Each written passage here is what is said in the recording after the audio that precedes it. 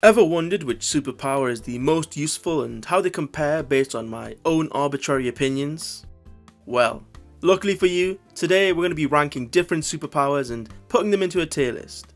Our tier list is 5 tiers ranging from cursed powers, which are powers that, as the name implies, are cursed for whatever reason, lame powers, which are superpowers that I think suck for a variety of different reasons, neutral powers, which are powers that either don't really make much of a difference or are kind of useless, good powers, which are powers that are useful and would be cool to have, and super superpowers, which are for the S tier powers that give you immense power or control.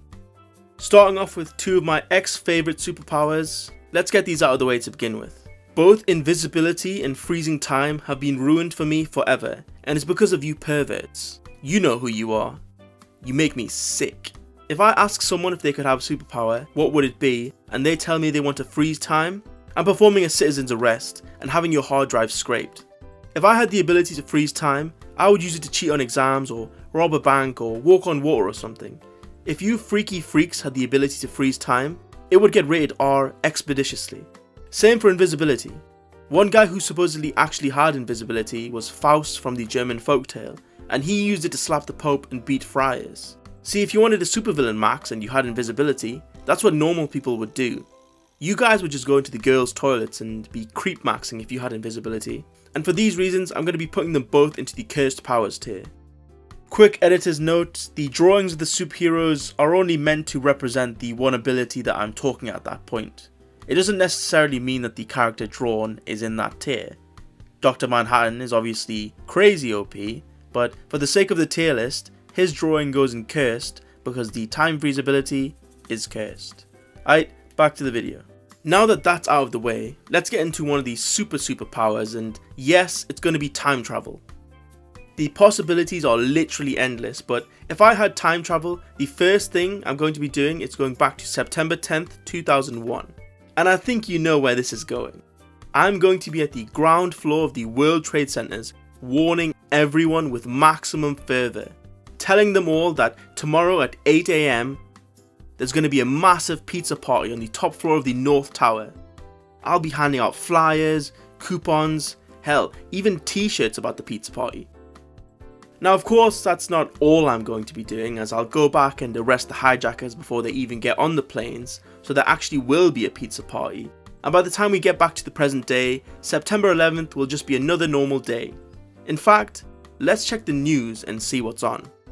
Welcome back to Stick for Wars. Our top story tonight, remembering 9-11, the 22.7th anniversary since the day the Twin Towers fell. For uh, absolutely no reason. Yes, they just decided to fall in their imprint. We still have footage from the day before of a young Greek philosopher who was telling people about a pizza party on the top floor of the North Tower. Oh no! His identity remains a mystery, with some rumors that his name may be Apathetic Twig. Regardless, what we do know is that he is incredibly smart, handsome, and charming. Hey, don't forget humble. George Bush, not knowing what to do at the time, decided to invade Afghanistan because why not? And he's a goddamn patriot for doing it. I guess 9-11 is a canon event or something. Regardless, time travel, easy super superpower tier. Next we have the superpowers of the Fantastic Four and funnily enough they're all in their own tiers. The Human Torch easily gets the super superpower tier, being able to control fire, turn himself into a nuclear bomb and fly is obviously insanely good. The Invisible Woman gets the good tier due to the fact that she has telekinesis and she also has invisibility, which is a pretty good bonus as well. Mr. Fantastic gets the neutral tier because his superpower is stretchiness, which has its uses, but there's only so much you can do with stretchy skin. He was already smart before the radiation, so I won't count that as part of his superpowers. Now the thing is going into the cursed powers tier because really it's the most useless superpower. He literally turned into a giant stone, with big stone fingers that he can't really use for anything. There's literally a scene in one of the OG Fantastic Four movies where he tried to use a payphone, but his big sausage rock fingers break the buttons and he gets mad. they also made him extremely ugly. As a stone, he could quite literally chisel himself a jawline, but yet he still looks like a calcified toe. I think the worst part is that he literally can't turn it off either. Like the other powers are cool and they can be hidden, but the rock gimp has to be a rock 24 7? Yeah, that seems fair to me. Um, well, actually, in comic book number 57 of the Fantastic Four 7th edition, he can turn off his powers. Listen, shh, come here, shh, shh, shh, shh, shh. That's it. Don't shh, shh. It'll all be over soon.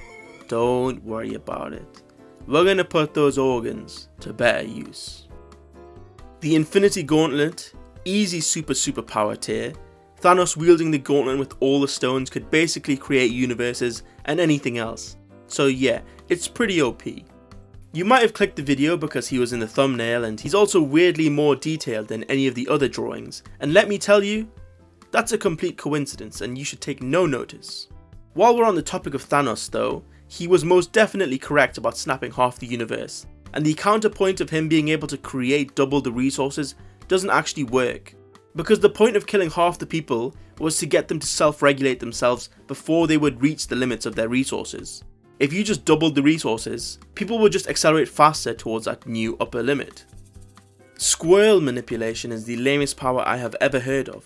You might think that I'm making this up, but there is a superhero called Squirrel Girl and she can talk to squirrels and has some squirrel abilities. She also somehow beat Thanos by summoning an army of squirrels to beat him up and no I'm not kidding. I know I'm intentionally leaving out the fact that this happened in a joke Christmas issue comic, but I choose to omit that fact because it's funnier that way. Easy lame tier, but if I had this ability, I would use it to terrorize certain boomers that have this weird hatred for squirrels. Look it up, it's a real thing. Or don't because I might make a video on it. Super speed can either go into the super superpower tier or in the curse tier solely due to one variable. Are they able to turn it off? Because the Flash has the ability to turn his super speed off so that he perceives time normally, but the red rush from Invincible is living constantly in slow motion, such that every day lasts thousands of times longer than it should. Imagine passing a kidney stone in 1000 times slow motion. That just sounds like hell. Or it would come out at super speed which honestly I think is worse. That's why I'm putting it in the cursed tier, just for the simple chance that it could be the red rush type speed. Next we have the power of hindsight which as the name implies lets you figure out what the best course of action is after the situation has already been resolved. Hindsight Lad is a superhero who has this power. I mean it's not even really a power, it's just an observation after the fact. I would have put this in neutral if it wasn't for the fact that anytime someone uses it, its only purpose is to piss me off. One time I bought a few thousand dollars worth of a crypto shitcoin and it went to zero in like a day. And my friend said to me, in hindsight, you probably shouldn't have bought those coins. Really? Because here I was thinking I should have bought more. Idiot. For that reason I'm putting it in the lame tier. Size manipulation is another power that I'm putting in the lame tier because on this channel we respect the laws of the conservation of mass. If you decrease your size to that of an ant, cough cough, ant-man, then you'll just be an ant that weighs the same as a human. So you can't go jumping from leaf to leaf or be put in someone's pocket. If you jumped on someone's shoulder, it would be like if I dropped an 80 kilogram dumbbell on your shoulder. You would immediately crumple under the weight, or at least get knocked off balance. This further complicates the whole Ant-Man beats Thanos theory, which if you didn't know was that the Avengers would subdue Thanos so that Ant-Man could slip into his crack and then turn into a huge giant. I don't think I could withstand the expanding pressure of the mass of an average male, but I think Thanos might. Telepathy is another super superpower, and it's the ability to transmit your thoughts slash will into other people. Essentially it's like mind control and depending on your power level, say Charles Xavier from the X-Men, you can influence someone to do what you want from the other side of the earth without anyone knowing that they're under your control. Now he's also technically disabled and some people may see that as a downside, but me personally, I believe that that's his second superpower, as it gives him access to powers that almost no one has, such as disabled parking. I have to walk like an extra minute to get into the supermarket, whereas he could just park right outside the front door.